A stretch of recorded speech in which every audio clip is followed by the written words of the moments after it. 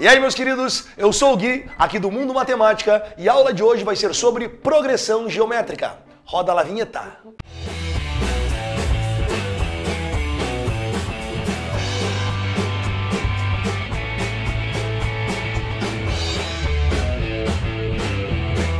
Bom, gente, na primeira aula de sequência numérica falamos sobre progressão aritmética e na aula de hoje a gente vai falar um pouquinho sobre progressão geométrica.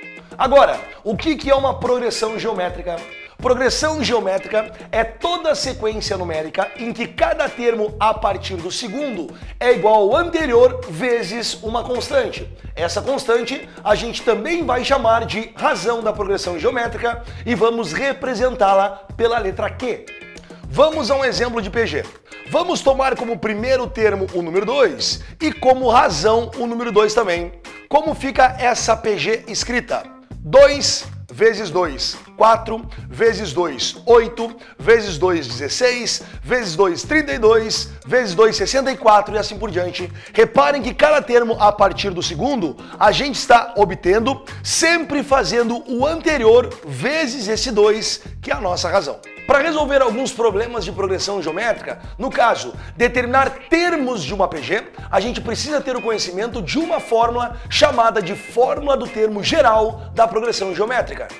Essa fórmula vai ser AN igual a A1 vezes Q elevado na N menos 1 não esqueçam que o nosso AN é o termo geral da nossa sequência, o nosso A1 é o primeiro termo da sequência, o nosso Qzinho é a razão da nossa PG e o nosso N é o número de termos. Pegando o exemplo introdutório da nossa PG, 2, 4, 8, 16 e assim por diante. Se eu perguntar para vocês, determinem o décimo termo dessa progressão geométrica. Décimo termo é termo específico da PG, um termo específico da sequência, que a gente determina pelo termo geral. Substituindo os termos da nossa sequência numérica na fórmula do termo geral, temos que o décimo termo é dado por a10 igual a A1, que é o número 2, vezes a razão, que é o número 2, elevado na n-1, onde o n é o número 10. Logo, o nosso A10 vai ser igual a 2 vezes 2 elevado na 9. 2 elevado a 9 dá 512.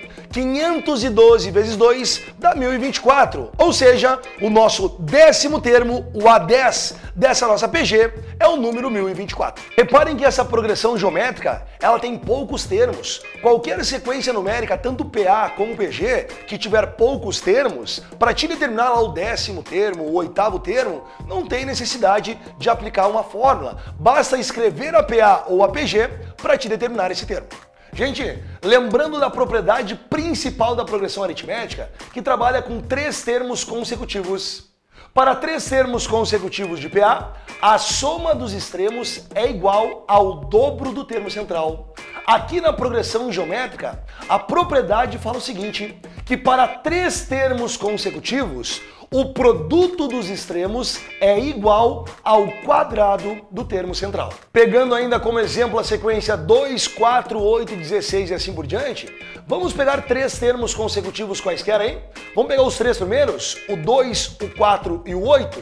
Se eu pegar o número 2 e multiplicar pelo número 8, que são os extremos, eu não vou ter o quadrado do número 4, que é o termo central? 2 vezes 8, 16, 4 ao quadrado, 16.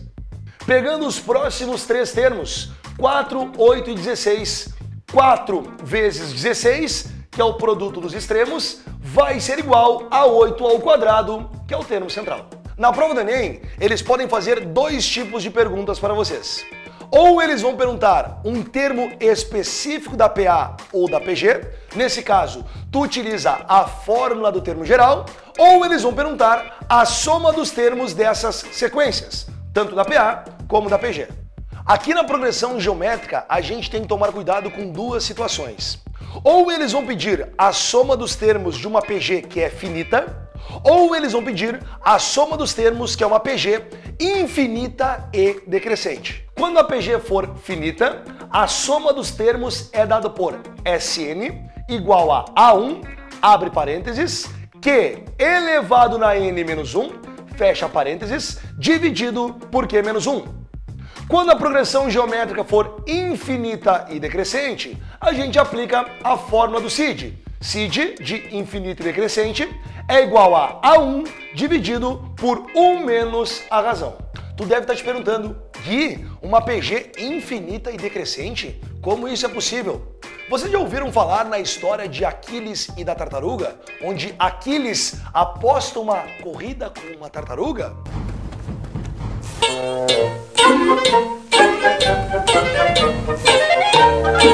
Não? Então acompanhe o exemplo comigo aqui. Aquiles persegue uma tartaruga. A velocidade dele é igual a 10 vezes a velocidade da tartaruga.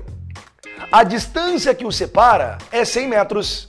Nessas condições, quando Aquiles vencer os 100 metros, a tartaruga terá corrido um décimo do que Aquiles percorreu e ficará 10 metros à sua frente. Quando Aquiles correr esses 10 metros, a tartaruga terá percorrido um décimo dessa distância e ficará um metro à sua frente. E assim por diante. Então, a distância que Aquiles deverá correr para alcançar a tartaruga será em metros de. Então, a distância que separa Aquiles da tartaruga, 100 metros. Quando Aquiles percorrer esses 100 metros, a tartaruga percorre 10. Quando Aquiles percorrer esses outros 10 metros, a tartaruga percorre 1. Quando Aquiles percorrer esse 1 metro, a tartaruga percorre um décimo de metro e assim por diante.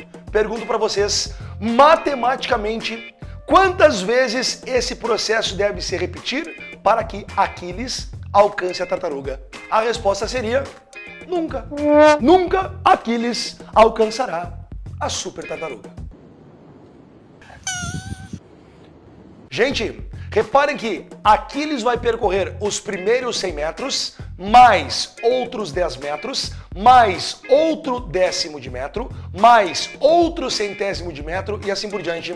Vocês concordam que para determinar o total de todo o percurso, a gente tem que somar todos esses termos dessa sequência numérica?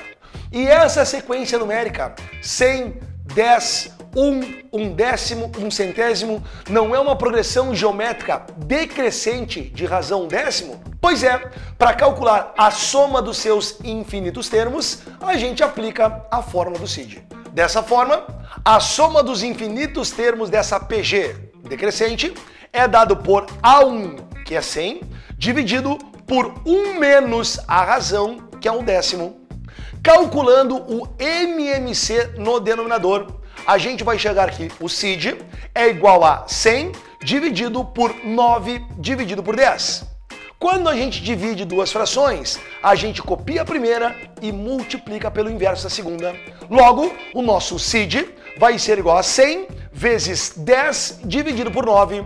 100 vezes 10 dá 1000. Logo, o total de metros que Aquiles deve percorrer para alcançar a tartaruga é de mil nonos de metro. Se a gente for parar para pensar, Aquiles em hipótese alguma vai alcançar a tartaruga, porque sempre vai diminuindo a distância, mas nunca ele vai chegar numa distância que seja zero. Vai chegar bem próximo do zero, mas jamais será zero a distância entre Aquiles e a tartaruga. Agora, para finalizar essa aula, vamos fazer uma comparação entre as duas sequências numéricas, que é a PA e a PG. A primeira coisa que tem que fazer em problemas de sequências numéricas é verificar se a sequência é progressão aritmética ou progressão geométrica.